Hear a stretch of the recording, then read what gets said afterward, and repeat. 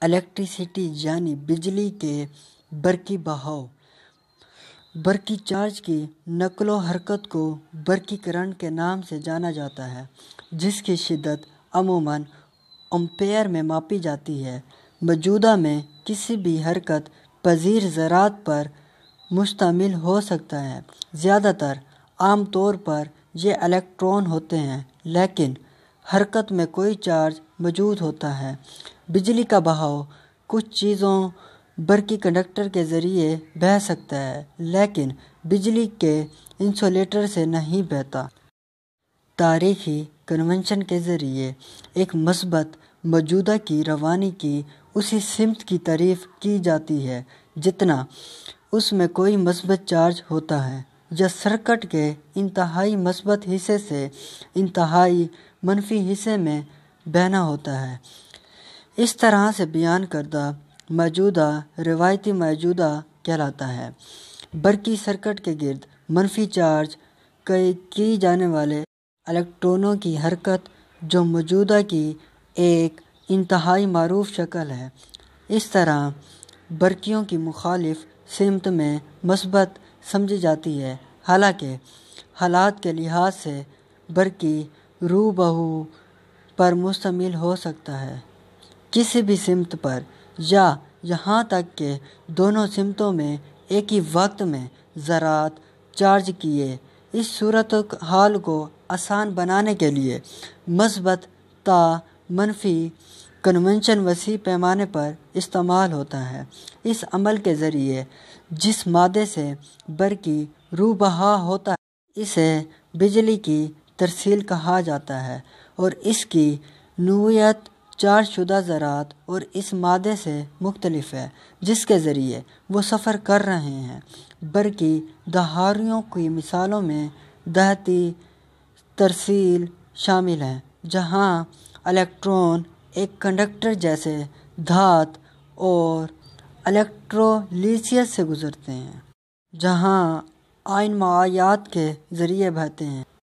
بعض اوقات اوسطاً بڑھنے کی رفتار صرف ایک ملی میٹر فی سیکنڈ کے ساتھ، برقی فیلڈ جو خود ہی روشنی کی رفتار کے قریب پھیلتا ہے، بجلی کے اشاروں کو تاروں کے ساتھ تیزی سے گزرنے کے قابل بناتا ہے۔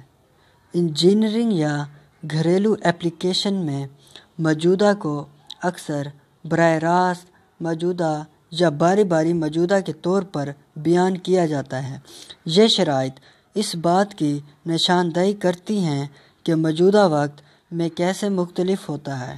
براہ راست موجودہ جیسا کہ بیٹری سے تیار کیا جاتا ہے اور زیادہ تر الیکٹرانک آلات کے ذریعے مطلوب ہے۔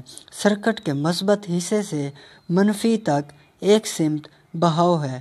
اگر عام طور پر یہ بہاؤ الیکٹرانک کے ذریعے ہوتا تو وہ سفر کریں گے۔ مخالف سمت میں رد بدل موجودہ، کوئی موجودہ ہے جو بار بار سمت تبدیل کرتا ہے۔ تقریباً ہمیشہ یہ ایک جیب کی لہر کی شکل اختیار کر لیتا ہے۔ اس طرح کے بہتے ہوئے موصل کے ساتھ کسی موصل کے اندر پیچھے پیچھے پیچھے دالیں وقت کے ساتھ خالص فاصلے کو بڑھاتی ہیں۔ باری باری کے موجودہ وقتی اوسط کی قیمت صفر ہے، لیکن اس سے پہلے ایک سمت میں توانائی مل جاتی ہے اور پھر اس کے معکوس ہو جاتی ہے رد و بدل موجودہ بجلی کی خصوصیات سے متاثر ہوتا ہے، جو مستقل حالت کے تحت نہیں منایا جاتا۔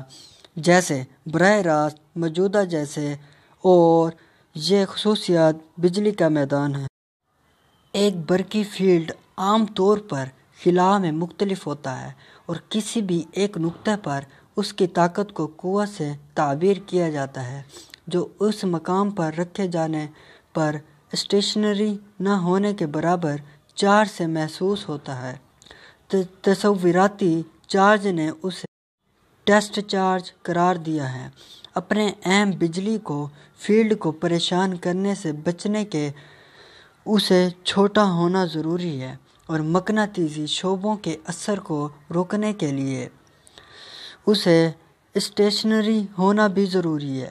چونکہ بجلی کے میدان کی طاقت کے لحاظ سے تعریف کی گئی ہے اور قوت ایک ویکٹر ہے، جس میں وسیعت اور سمت دونوں موجود ہیں۔ لہٰذا اس کے بعد یہ معلوم ہوتا ہے کہ برقی میدان ایک ویکٹر فیلڈ ہے۔